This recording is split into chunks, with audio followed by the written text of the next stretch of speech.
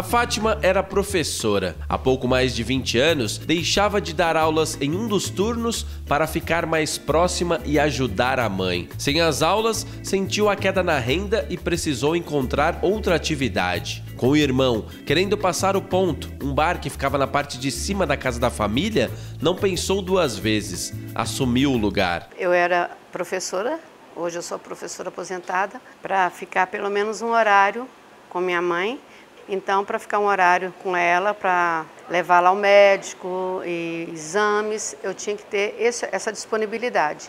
E como eu tinha o espaço disponível aqui, eu comecei a mexer com o comércio também. Hoje quem procura pelo local procura por dois nomes, o Bar da Fátima, como é conhecido, e também o Bar da Panqueca há mais ou menos 15, 16 anos, para agradar um casal de clientes que frequentava o bar, a Fátima acabou colocando no cardápio as panquecas. Isso mudou o rumo do lugar. Bem, eu tinha um casal que frequentava aqui e que me deu maior força quando eu falei que eu ia abrir a, a casa.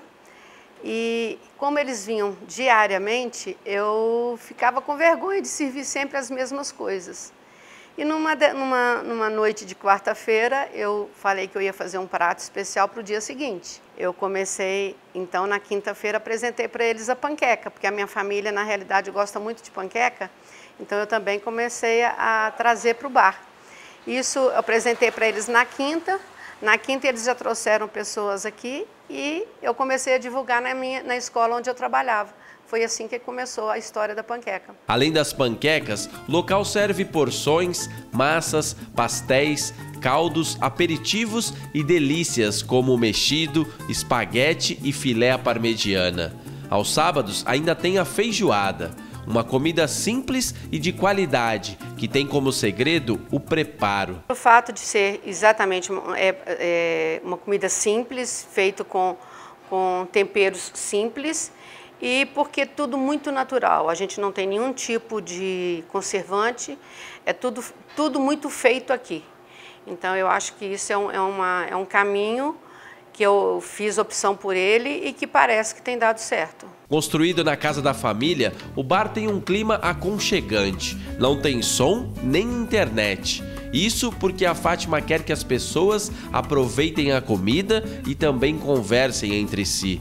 Outra preocupação da empresária é o atendimento, que precisa ser bom, menos formal e mais próximo dos clientes. Sempre presente no bar, ela fala da importância de continuar ouvindo os clientes. É exatamente em cima dessas, dessas críticas é que a gente cresce, a gente corrige os erros. Então é muito importante a gente que está do lado de trás do balcão, responsável por uma casa deste tamanho, que não é tão grande, mas há tanto tempo no mercado, é exatamente isso: saber ouvir para poder corrigir e manter o produto de qualidade, que é o que importa aqui, além de ter o relacionamento que a gente tem com o cliente, de amizade, de carinho. Primeiro, pelo atendimento, a qualidade da, das coisas que a gente é servido aqui, a segurança.